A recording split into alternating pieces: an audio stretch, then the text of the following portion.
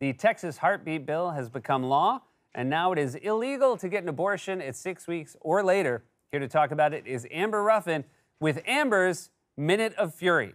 Every politician in Texas wants to be in charge of my body so bad. Well, if you're going to be in charge of my body, really do it then. Be in charge of my whole body, fro to toes. Make it all your problem. Lactose intolerant and I love ice cream. So every time I want to have Dairy Queen, tackle me.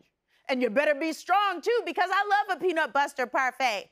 Tell four margaritas in Amber that she can't have a fifth.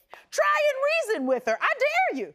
If you want to be in charge, be in charge. Manage my calorie intake. Throw out my candy. Good luck finding the candy I have hidden from my husband. He can't find it, and he knows me.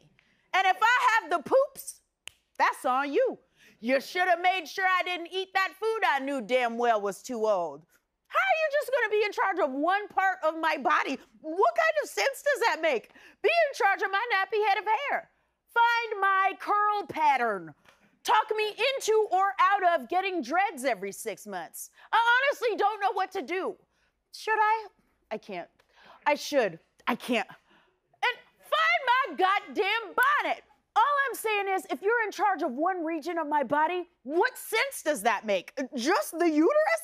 At least take the whole bottom half. I want a federally funded pedicure.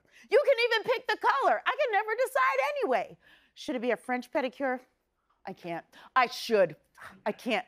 So just make them so I can wear sandals without feeling sad. Can you do that? Of course you can't, you dumb. So don't take charge of the biggest decision I'll ever make in my whole life when you can't even get me a goddamn pedicure. This has been Amber's Minute of Fury.